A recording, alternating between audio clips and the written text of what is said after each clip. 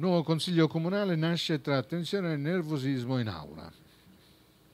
È una donna nuova Presidente del Consiglio Comunale di Siracusa, Moena Scala, giovane avvocato, la donna più votata alle scorse elezioni comunali. Scala è stata eletta con 19 voti contro gli 11 di Giovanni Boscadino.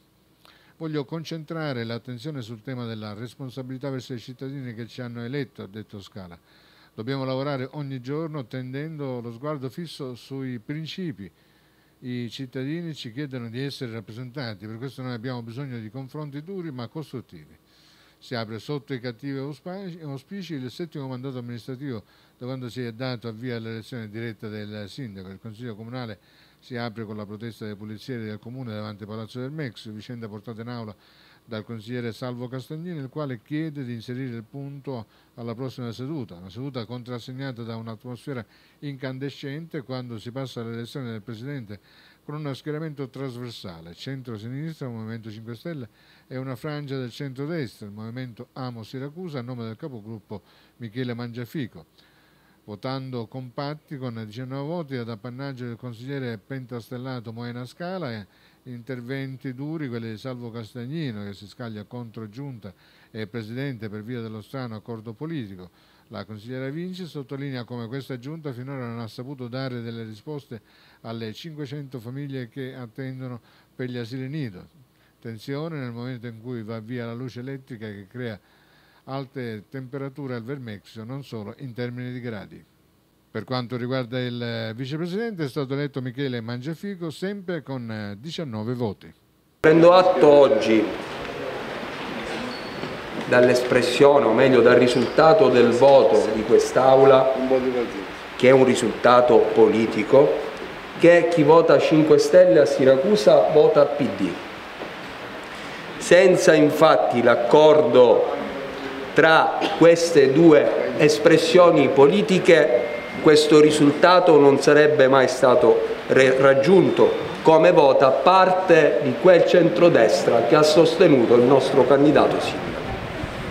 Ne prendo atto, voi avete, avete reso pubblico questo accordo e continuo a dire Presidente che le auguro buon lavoro, nel mio gruppo avrà sicuramente un gruppo che l'aiuterà nella gestione dell'Aula quando la sua attività sarà conforme al regolamento e contestualmente avrà uno scontro costruttivo col mio gruppo quando lo scontro dovrà esserci. Perché noi, a dispetto di altri soggetti, tra cui quelli che l'hanno votata e che non erano del suo movimento, restiamo sempre rispettosi dell'accordo che abbiamo col nostro elettorato. Noi abbiamo firmato un accordo con chi ci ha votato in città e lo portiamo avanti indipendentemente da quelli che possano essere accordi di poltrona. Al di là degli orientamenti politici, perché non è soltanto un voto politico, ma è un voto di risultato, questo risultato evidentemente ha dato questo, il risultato politico delle elezioni, ha dato anche un risultato oggi in questo Consiglio Comunale. I 5 Stelle hanno dato un segno, sono stati accettati dai cittadini, sono stati votati ampiamente e quindi anche avere una rappresentanza politica dei 5 Stelle in Consiglio Comunale, per la prima volta anche essere donna, sicuramente è una cosa positiva.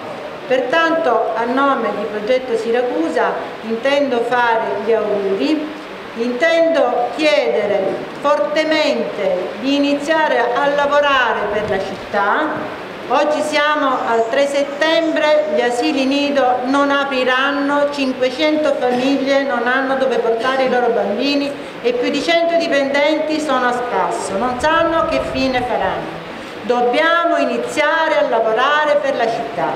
Desidero chiederle eh, personalmente anche, eh, sulla base dell'esperienza di questi ultimi cinque anni, che i consiglieri, sottolineare più che altro che consigliare, sottolineo che ciascun consigliere che siede in quest'Aula rappresenta una fetta della nostra città. non è soltanto un colore politico, ma è una rappresentanza di una porzione di cittadini. Pertanto il rispetto a ciascuno di noi lo pretendiamo perché purtroppo l'esperienza degli ultimi cinque anni non ci ha dato risposta su questa richiesta. Vogliamo i tempi, vogliamo che vengano cronologicamente inserite in calendario le nostre richieste di trattazione in Consiglio Comunale, desideriamo rispetto del lavoro non del politico ma dei cittadini che rappresentiamo.